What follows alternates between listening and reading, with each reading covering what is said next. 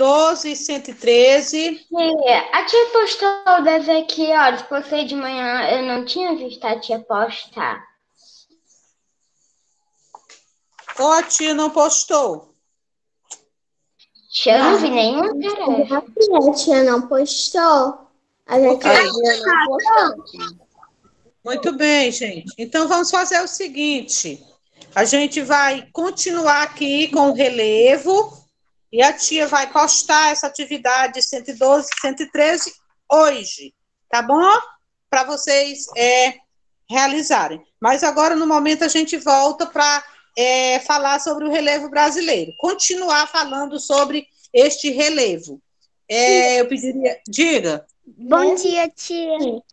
Bom dia, amor. Tia, mesmo assim, que a tia não tenha postado, eu fiz a página 102 e 113. Tá ok, mas Bom aí dia, a tia não. tia. Diga. Bom dia, amor. Então, a gente continua aqui com o relevo do Brasil e a página 112 e 113 vai para casa, não tem problema. A Emily já fez, mas não tem problema. Ok, Emily? Só que a correção a tia vai fazer só na próxima aula. Tá bom?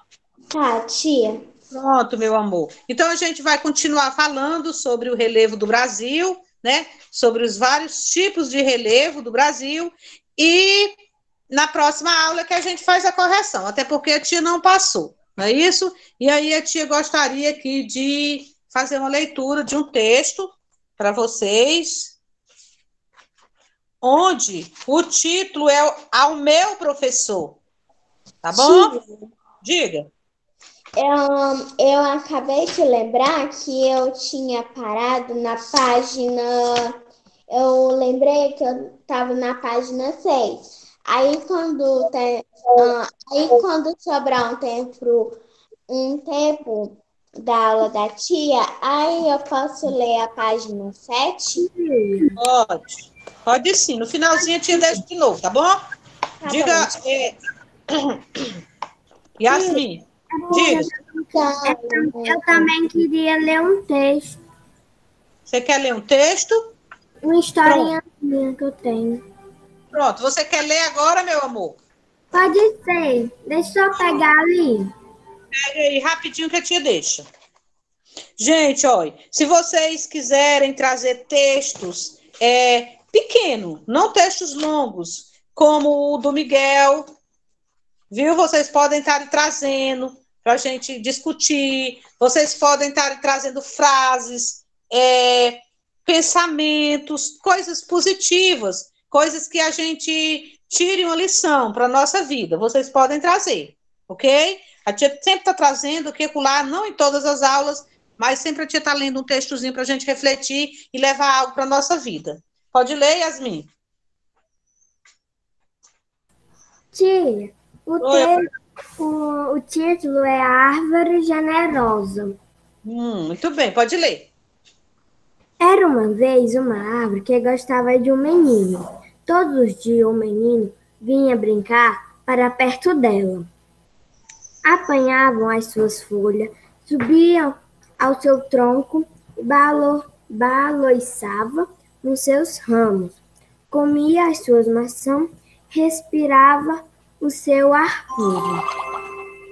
Às vezes brincava às escondidas e quando ficava cansado, encostava-se ao seu tronco e, a- e aproveitava a, a sua sombra. O menino também gostava muito daquela árvore e a árvore ficava feliz. Mas o tempo passou, o menino cresceu e a árvore ficava muito, muitas vezes sozinha e triste.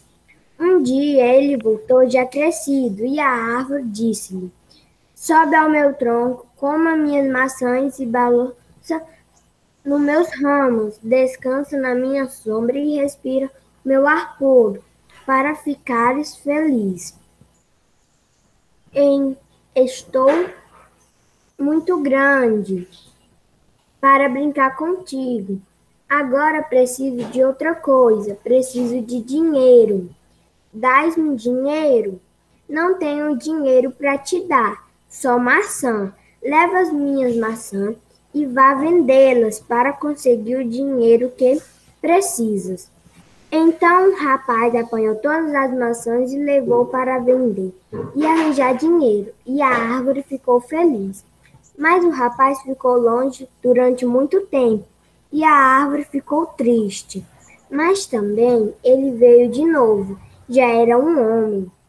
A árvore até abandonou de contente e disse-lhe: Sobe ao meu tronco, balança nos meus ramos, respira o meu ar puro e descansa na minha sombra, para ficar feliz.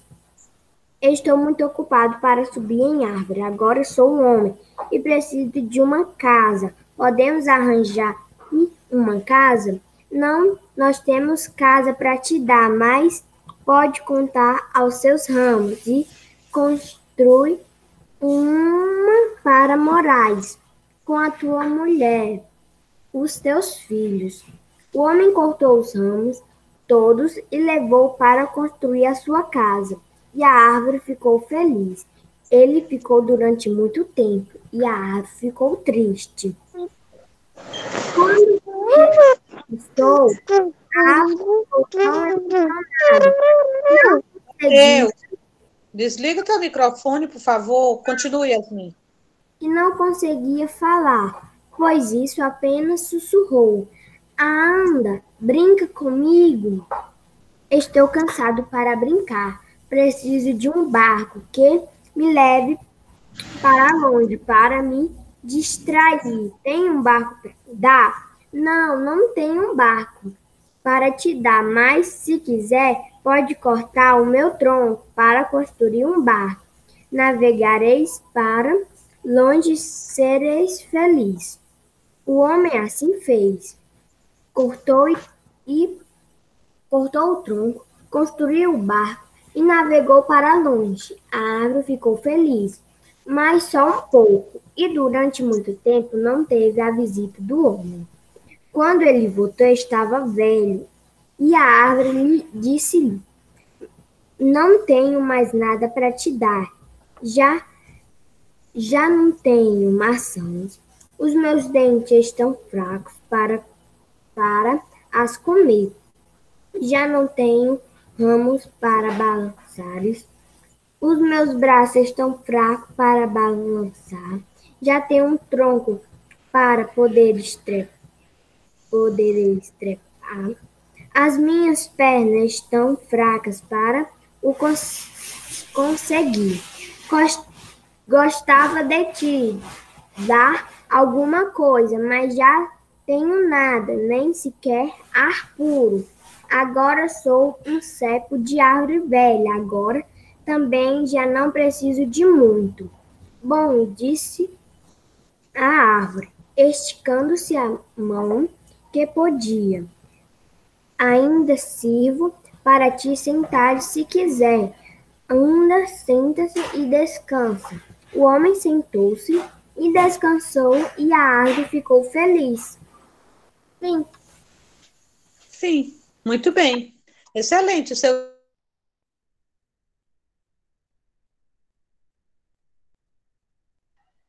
Não é verdade? Você tem alguma coisa para comentar do seu texto, Yasmin? Tia, um dia desse, esse texto foi o meu tio que me enviou. Aí eu li ele e eu achei muito interessante, porque era um menino uma árvore, que essa árvore gostava muito desse menino. E o menino também gostava dessa árvore. Aí ele foi morar longe, aí passou muito tempo longe. Aí quando veio, era já moço, depois virou um adulto, depois ficou bem velhinho. E a árvore disse que não tinha nada mais para dar a ele, só que, que ainda tinha, que era o tronco. Tronco para ele sentar, né? Uhum. Que ele podia sentar nesse tronco. Ela fez parte da vida desse homem do início ao fim, né? E ela o ajudou. Então, na nossa vida, as árvores também nos ajudam, Não é isso? A primeira coisa que ele pediu à árvore lá no início foi o quê? Dinheiro. Ela não tinha o dinheiro para oferecer, mas ela tinha os frutos que ele podia vender e adquirir o dinheiro. É verdade? Então é assim na nossa vida, gente. Só Sim. que ele não tirava da árvore, não ajudava. Diga, amor. Quando eu era pequena, minha mãe me contava um bocado de história. Era? Muito bem. Hoje a senhora não é mais pequena? então, gente, agora sim.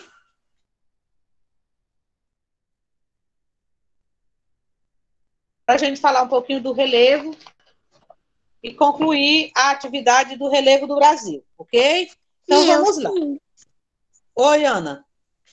Eu fiz essa atividade. Tá ok. Mas aí a tia não vai corrigir hoje, tá? Porque a tia não, não passou. Só na próxima aula, tá? Então vamos lá. O texto aqui é ao professor. Aliás, ao meu professor.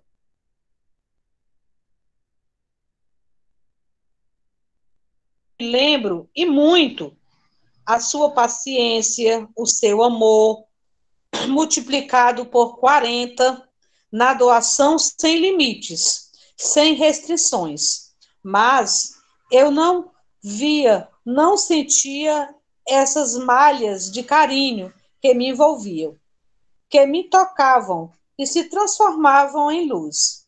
Eu sabia, mas não reconhecia que você plantou uma semente dentro de mim que agora eu sinto, germinou, cresceu, virou botão e cresceu.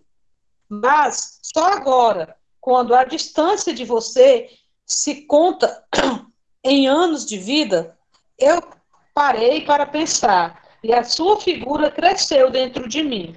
Parece até que eu voltei a ouvir a sua voz e sentir a sua presença em tudo que fiz, em tudo que vivi.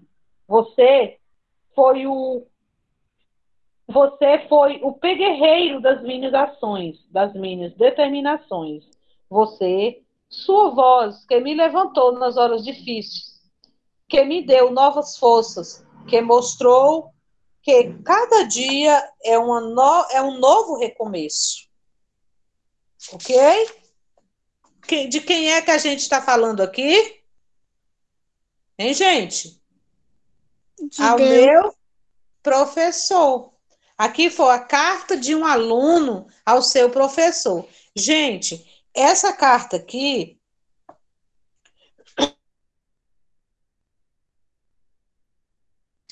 Tia, travou. Não é simplesmente um texto reflexível. Foi um aluno que escreveu isso para sua professora depois de anos e anos e anos de vida, né? Que ele é, parou para pensar, né? Bem que assim diz que ele parou para pensar, né? Na sementinha que ela plantou dentro do seu coração. Olha, eu recebi, eu percebi, mas não reconhecia que você plantou uma semente dentro de mim, né? Que a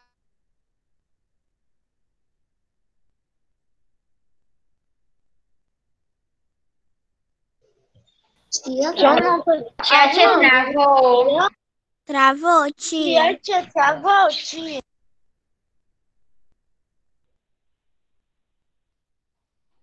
Tia, é. onde é que a tia tá, hein? A tia eu travou. Onde é que eu tô, Annalise? Eu tô aqui, princesa. A tia sumiu. Tia, tá travada. Pronto foi que houve? De repente travou, tia. Aqui, ah, travou. É, é, destravou agora? Está ouvindo? Pronto. Sim. Então vocês entenderam aqui o texto que a tia leu? Sim. Entenderam? É uma carta, né? O que é que vocês podem me dizer desse texto? Que eu gostei, porque eles falam muito dos professores, praticamente os professores que ensinam a gente, ensinam as matérias, que ajudam a gente para a faculdade, essas coisas. Por causa que eles que ensinam a gente.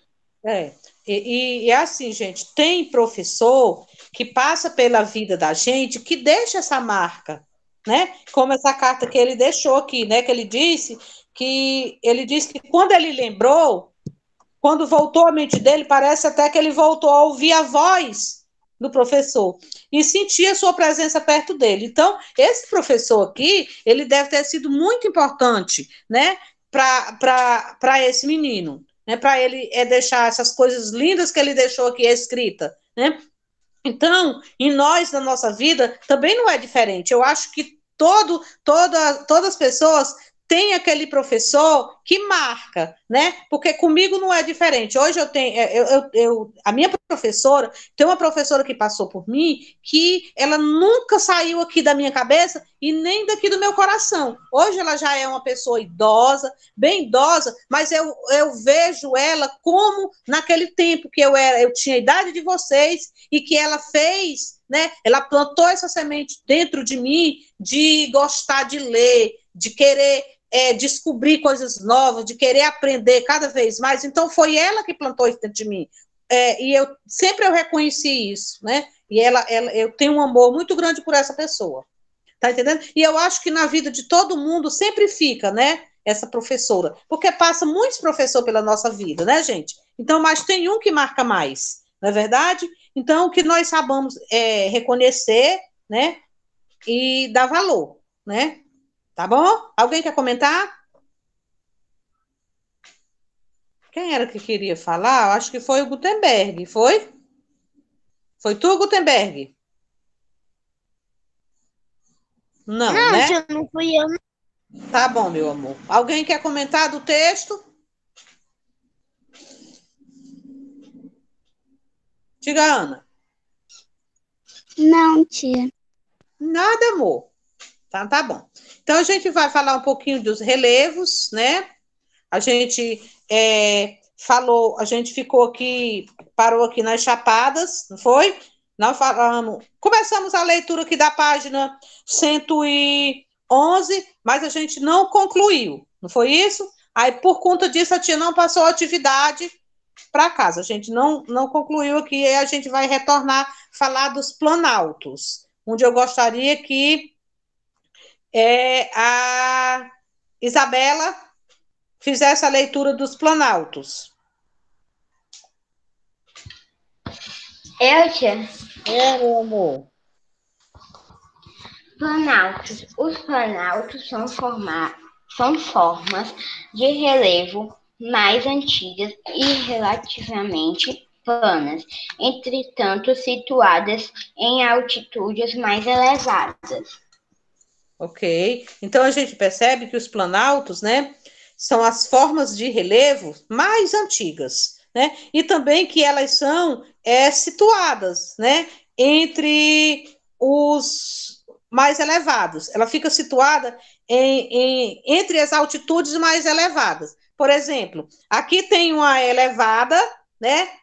E bem ali na frente tem outra elevada. Digamos assim, ó, uma elevação assim, uma menor e uma maior. E o relevo fica nesse meio, né? Aliás, os planalto fica nesse meio aqui, entre as elevações. Entenderam? Esses são os planaltos. E agora as planícies. Quem pode ler as planícies?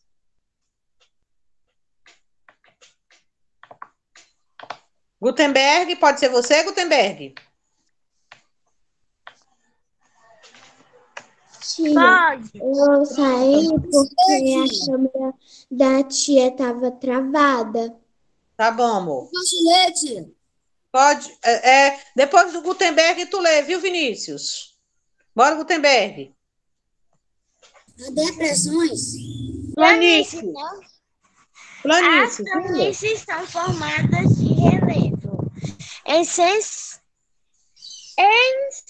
Essencialmente planas formadas a partir dos depósitos de materiais vindo de áreas mais elevadas e são mais recentes no tempo geológico. Geológico, muito bem. Então, a, a, os planaltos, eles são as formas de relevo mais antigos. Não foi isso que a gente acabou de ver? Já as planícies são as é, mais recentes, né? No tempo geológico, ok? Eles são formados por relevos essencialmente planos, né? Formado a partir de depósitos de materiais vindo de áreas mais elevadas. Por exemplo, Lá, no, lá nas planícies, eu expliquei para vocês que lá na planície, a planície ela está situada entre os relevos, né? Um relevo é, baixo e um relevo mais alto. Então, a planície está aqui nesse meio. Enquanto que os, é, aliás, os planalto, enquanto que as planícies, elas estão elas são formadas a partir de depósitos de materiais vindos de áreas mais elevadas, né? é, as áreas mais elevadas aqui, ó, elas vêm na época de chuva, de vento, de tempestade, vêm trazendo materiais, né, e formando essas planícies, ok? Depressões. É, Vinícius, Marcos Vinícius. Oi, tia. Pronto, pode ler depressão. Depressão. As, des, as depressões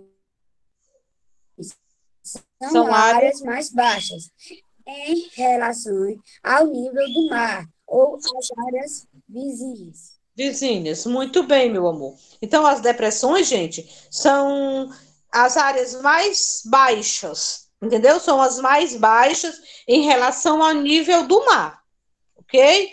Chapadas pode ser a. Deixa eu ver aqui. Douglas, pode ser você, Douglas? Nunca mais eu te ouvi sua vozinha.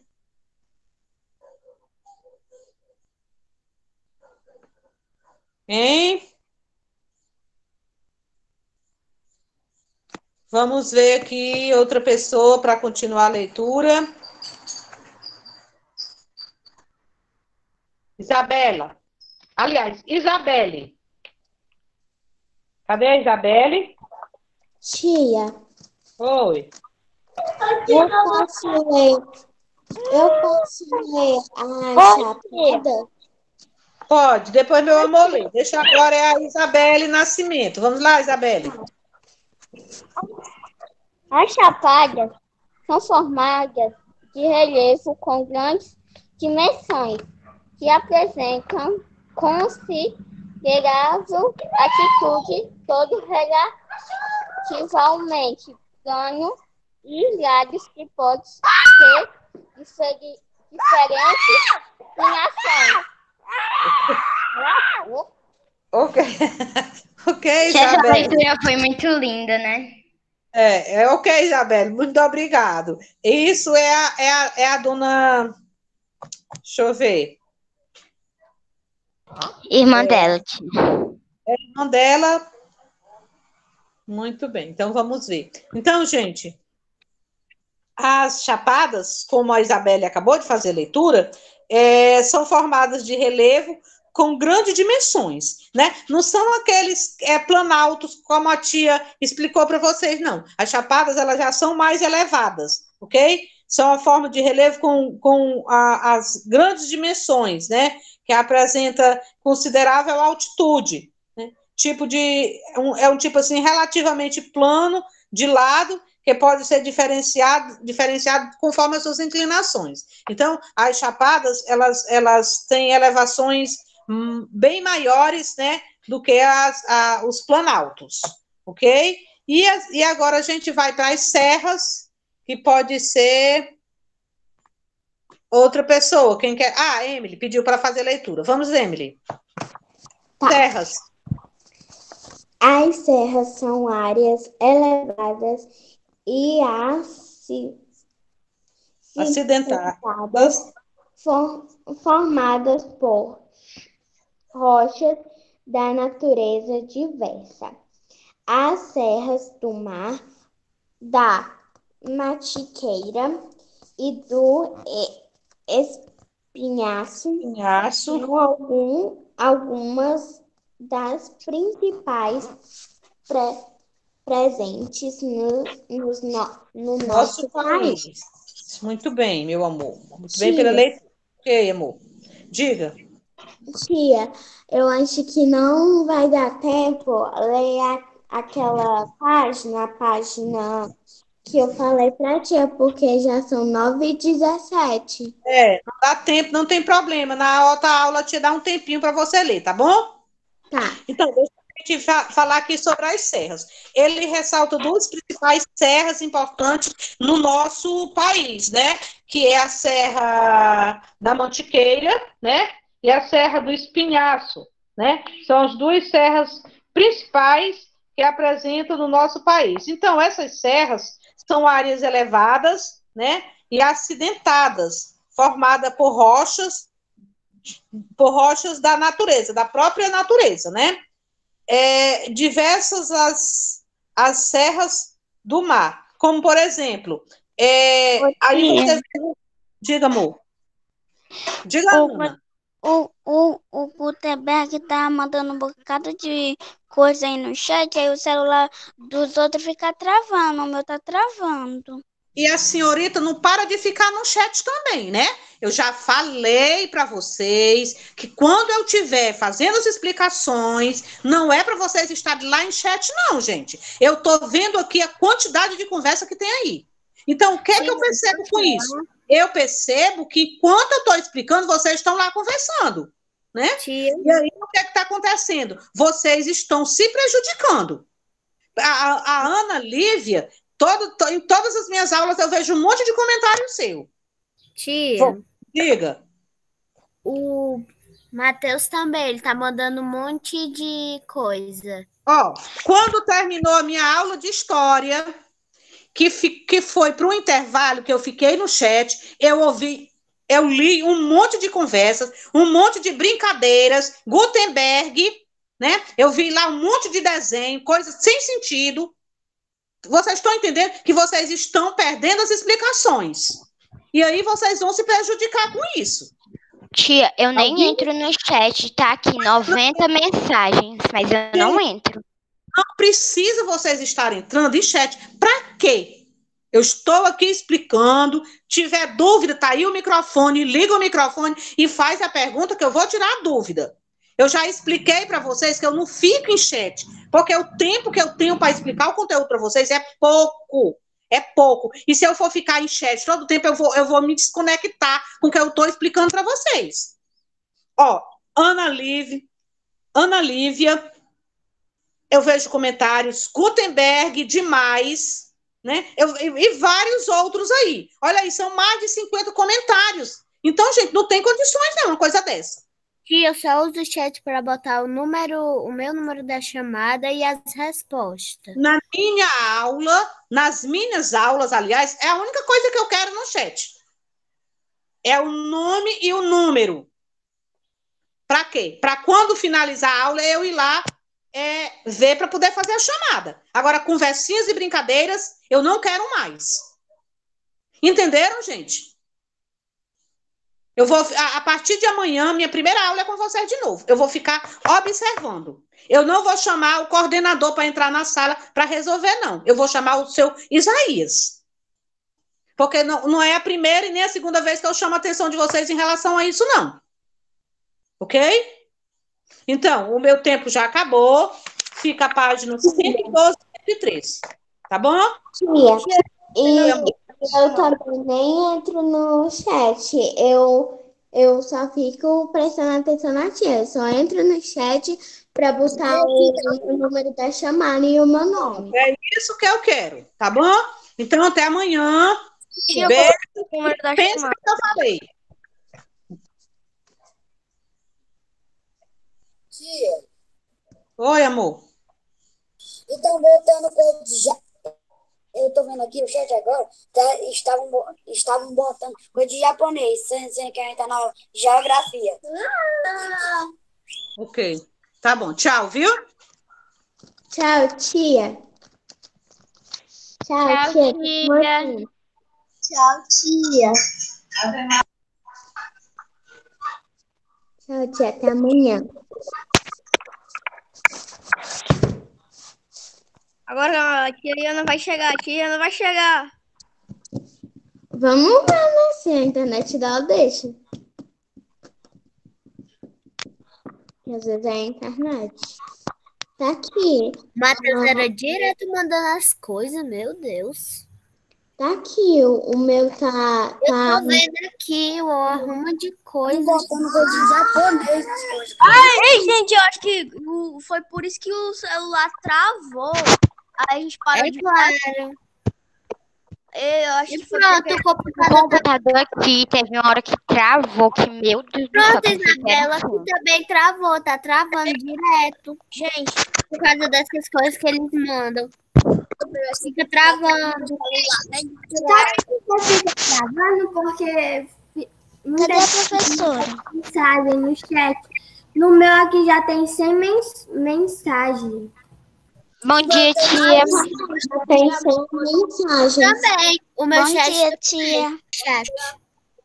bom dia, tia. Vamos abrir Bom dia, tia. Bom dia, tia. livro, página 155, não foi? Passei para casa 155 e a 156. 155 e 156. Começar pela 156. Bom dia, tia. Bom dia. Tia, posso ler a quatro? Começa a Tia, eu não tô ouvindo a tia, não. É, o seu, é a sua internet, não é a minha não, viu, gente? Começa a ler a Tá. quatro. Tá bom, tá bom, tia. Tia, minha internet é boa. Responda as perguntas antes de resolver as. Uhum. Calma aí. Gente, um abriu o microfone e os outros se calam. Um abriu o microfone o outro cala. Tia, Viu? A Be- a Isabela, a Isabela vai começar a leitura. Todo mundo cala, porque aqui é um diálogo. Um diálogo é quando um, um fala e o outro escuta. Fala, Belinha. Responda as perguntas antes de resolver as expressões numéricas. O que é uma expressão numérica? Você respondeu? Conseguiu? Aham. Pois re- diga a sua resposta. Eu botei quatro operações. Não, pois vamos completar, tá certo? Certo. Eu posso dar minha resposta? Deixa eu falar. Você vai colocar. Vamos fazer assim: se todo mundo for ter a resposta, não dá tempo. Acho que dá tempo corrigir hoje tudo. Desliguem os microfones e olhem aqui. Cada um, eu chamo um para dizer uma resposta, tá bom? Assim, assim, ó. É toda expressão que envolve mais operações com números. Ou envolve as quatro operações. Você vai só completar, viu, Isabela? Mulher, coloca na lousa. Vou colocar, vou escrever. Certo. A. É toda expressão. É toda expressão que envolve. Tia, eu posso ler a minha resposta? Olha aqui, porque se todo mundo for ler, meu amor, não vai dar tempo eu nem corrigir a tarefa. Você diz a resposta da B, tá certo? Pode Tá. ser? Tá bom, tia. Você diz a resposta da B. Daqui a pouquinho você diz, tá bom?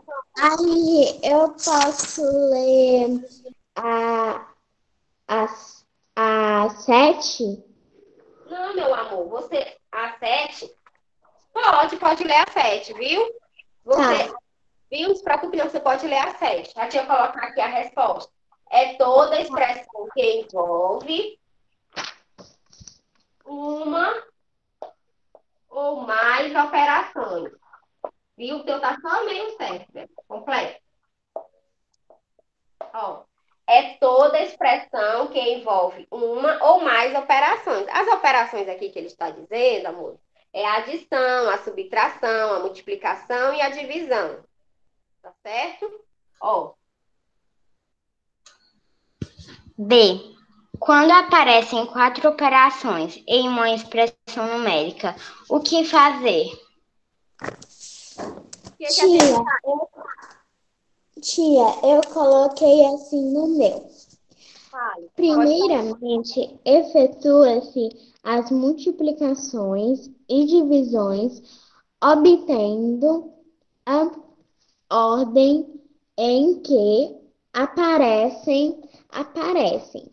A seguir, efetua-se as adi- adições e subtrações, também obedecendo a ordem em que aparecem. Muito, a sua está completamente correta, viu? A sua está corretíssima, tá bom? Viu, meu amor? Tá certíssimo. Gente, eu posso apagar esse aqui para fazer a B ou não? Não. Pode, tia, pode. Tá bom. Eu digo que falou não. Agora a gente desliga o microfone. Gente, digita no chat. Digita. Digita no chat. Ô tia, eu posso falar minha? Você fala C, tá certo? Fala C, tá bom, meu amor? Quando for a C, quando for a leitura da C, você diz a sua resposta, tá bom? Não se preocupe não, que todo mundo participa.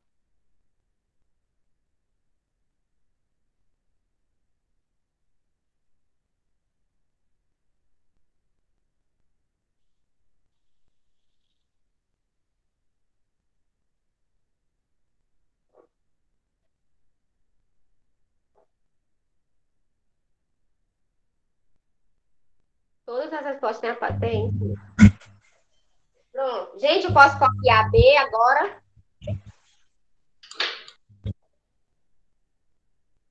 Posso apagar e copiar B? Tia, por mim pode. Para dar todo mundo, para dar certo, todo mundo fazer. Aqui, ó. Primeiro,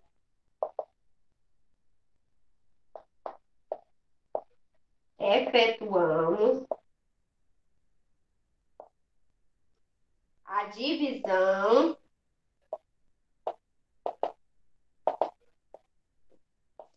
Tia, ou multiplicação. tia, Eu ler a minha. Ah, para saber se ela tá certa. Você não olhou não aqui? É porque a minha tá escrita assim, eu não sei se pode se considerar. São sequências de operações com números ligados Sim. ou não por sinal de associação. Não, você tem que colocar que é uma expressão, viu? É uma expressão. tia, Calma aí, gente, um de cada vez. Não dá para eu escutar todos ao mesmo tempo, não. Deixa eu responder o outro, viu? Tenha calma. É aqui, ó. É toda expressão. Coloque expressão no começo, dizendo que é uma expressão, tá certo? Gente, se tiver parecido com esse aqui, tá correto. Se não tiver, tá errado. Tem que corrigir, tá certo? Porque isso aqui, se, se, se a pergunta desse cai simulado, como é que você vai saber, tá certo? Se tiver parecido com esse, está correto. Tia, eu só coloco... aí, tia. Gente, desliguem os microfones. tia, tia. A minha mãe, né, ela tá lá num colégio, né, que ela trabalha, aí ela, ela vai, se ela conseguir pegar um joguinho de matemática, que eu não sei toda a tabuada de matemática, aí se ela conseguir, ela vai trazer para mim um joguinho da tabuada. Aí eu vou brincando e aprendendo. Eu sei como é esse joguinho, menina, legal, viu? É, tia. Se a minha mãe conseguir trazer, aí eu vou brincando e aprendendo. Tá me aprendendo, é. É legal, já viu um joguinho assim parecido. Ó, adições, agora eu vou fazer a leitura.